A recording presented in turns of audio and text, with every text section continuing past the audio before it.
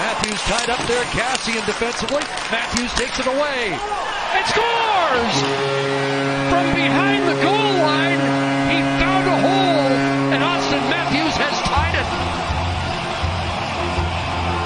Tippett not happy with his team in the puck battle department. Here's a great example in front. Matthews in the corner.